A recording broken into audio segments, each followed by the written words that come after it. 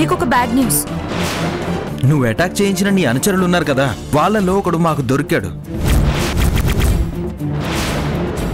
ఇప్పుడు వాణ్ణి తీసుకొని అర్షిత్ చంద్ర దగ్గరికి నిజం చెప్పడానికి మీనాక్షి వెళ్ళింది. నువ్వు ఇక్కడ నుంచి డైరెక్ట్గా జైలుకు వెళ్తావు.